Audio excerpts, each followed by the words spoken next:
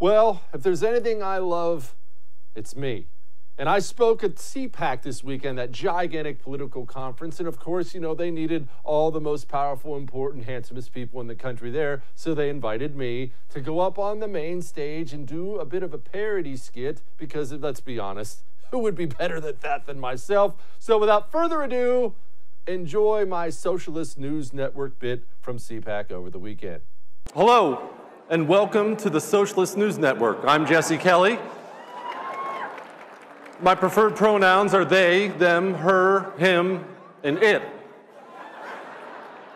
While 150 million Americans have lost their health insurance after Congress passed the president's Medicare for All bill, Democrats are confident the plan will end in huge savings after all those people finally die. Adam Schiff was confirmed to the Supreme Court today. Earlier, an exuberant Schiff took to the microphone to express his great appreciation. Some of my colleagues made the statement repeatedly that I've met with the whistleblower, that I know who the whistleblower is. It was false the first time they said it. It was false the second through 40th time they said it. It will be false the last time they say it.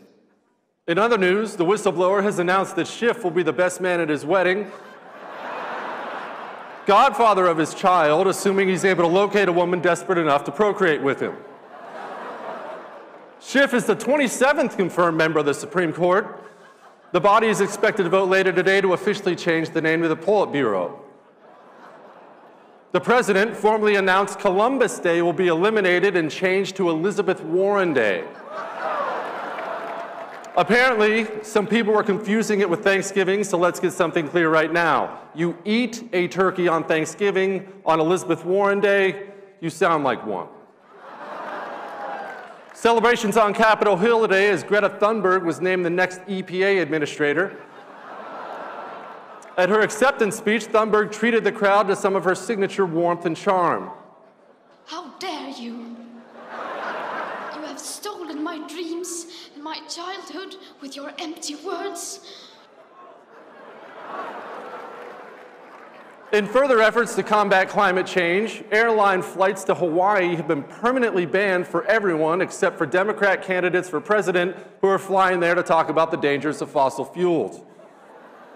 In a related climate story, the president signed an executive order mandating that all the electricity in Washington, D.C. come from wind power.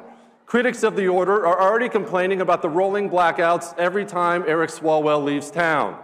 Chris, so far, the evidence is uncontradicted that the president used taxpayer dollars to ask the Ukrainians to help him cheat an election, cheat an election, cheat an election. 10 year olds 10 year olds have finally been granted the right to vote. Joe Biden was asked what he thought about more kids being involved in politics. His only answer was,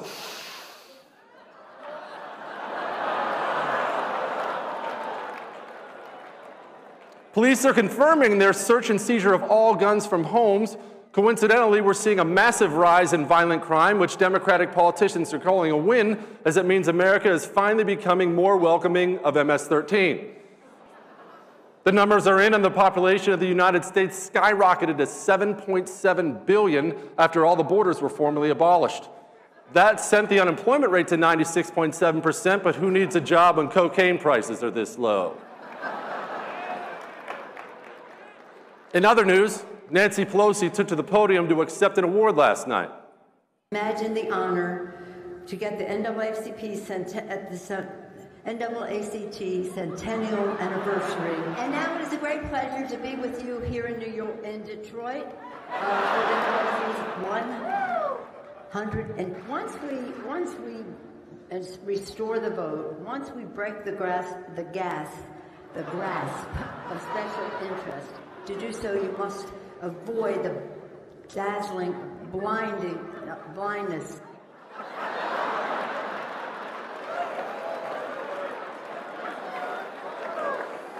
It's nice to see Pelosi back out there after a brief embarrassing moment last week when she tried to use a wine bottle as the gavel. Finally, saying goodbye to bathrooms. The last men's and women's room closed today. The rooms, synonymous with gender discrimination, were useful to people who had to relieve themselves for decades. When asked what the people should do now, the president urged Americans to follow San Francisco's lead and find an open slice of sidewalk. What can I say?